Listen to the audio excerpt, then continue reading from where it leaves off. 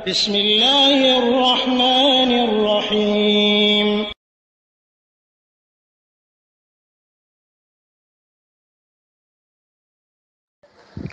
আসসালামু আলাইকুম রহমতুল্লাহি ওবরাকাত আলহামদুলিল্লাহ ওসালাত ওয়াসালাম আলা রসুলিল্লাহ আলা আলিহি ওসাহবিহি ওয়ামাওয়ালা সম্মানিত বাই আম, সাংবাদিক মহিউদ্দিন আফজাল আহ, যে বিষয়টি জানতে চেয়েছেন যে আমরা আমাদের দেশে দেখি অনেক ভাই পাঁচ ওয়াক্ত সলাত আদায় করেন না, কিন্তু কোরবানি করার সময় খুব তৎপর কোরবানির হুকুম পালন করার জন্য, অথচ ফরজ সলাতের ব্যাপারে উদাসীন, কিন্তু একটি সন্না কোরবানি করার জন্য খুবই আগ্রহী।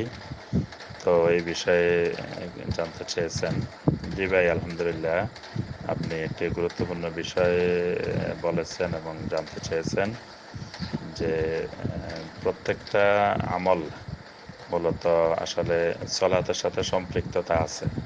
কারণ সলাৎ এমন একটি বিষয় যে, সলাৎ পরিত্যাগ করাকে সাহাবাই কেরাম কুপরি মনে করতেন এবং নবী ইসলাম স্পষ্ট বলছেন যে মুমিন আর সেরেক কুপরের মধ্যে পার্থক্য হলো তার সলা সলাৎ পরিত্যাগ করা।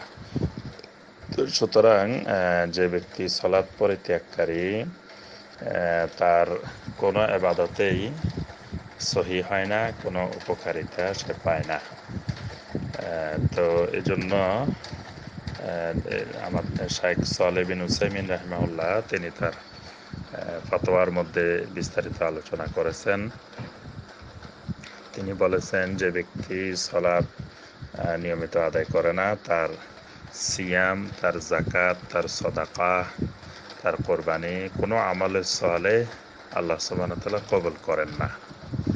সুরা তাওবার চুয়ান্ন নম্বর আয়তে আল্লাহ পাক এরশাদ করেছেন মামা ওয়ামা মানাহুম আন তুকবালা মিনহুম নাফাকাতুহুম ইল্লা আন্নাহুম কাফারু বিল্লাহি ওয়া বিরাসূলিহি ওয়ালা ইয়াতুনা সলাতা ইল্লা ওয়াহুম কুসালা ওয়ালা ইউনফিকুনা ইল্লা ওয়াহুম কারিহুন আল্লাহ সুবহান তাআলা এখানে বলছেন যে তাদের নাফাকাতগুলো তাদের দান সদাকা গুলো কবল হওয়ার ব্যাপারে আর কোনো বাধা ছিল না। বাধা এগুলাই যে তারা আল্লাহর সাথে কুফরি করেছে, রাসূলের সাথে কুফরি করেছে। ওয়ালা ইয়াতুনা সলাতা ইল্লা ওয়াহুম কুসালা। যে তারা সলাত আদায় করতো অলসতার সাথে। তাহলে এখানে সলাত আদায় করতো অলসতার সাথে এই জন্য তাদের আহ, অন্যান্য আমল আল্লাহ পাক কবুল করেন না। তো যারা সলাত একেবারে আদায় করে না এবার তাদের আমল কীভাবে কবুল হয়?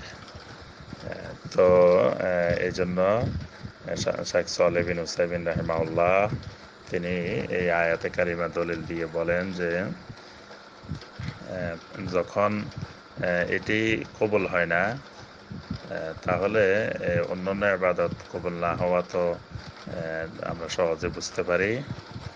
তো এজন্য যদি সলাৎ পরিত্যাগকারী কোরবানি করতে চায়, তাহলে প্রথমে তাকে সলাৎ পরিত্যাগ করা থেকে খালেজভাবে তওবা করতে হবে। আর যদি তওবা না করেই করে, তাহলে এই কোরবানির কোনো সওয়াব তিনি পাবেন না, তার কোরবানি কবুলও হবে না। এবং এই বেনামাজি, যিনি সালাদ পরিত্যাগকারী, তিনি যদি জবাই করেন, তাহলে ওই জবাইকৃত প্রাণীও, ওই কোরবানির প্রাণীও অন্যদের জন্য খাওয়া বৈধ হবে না। এবং তিনি যদি তওবা না করেন, তো তাকে শরিকানা নিয়ে অন্যরা তার সাথে কোরবানি করাও বৈধ হবে না। আশা করি আমরা বুঝতে পেরেছি। বিসাবাব আসসালামু আলাইকুম রহমতুল্লাহি ওবরাকাত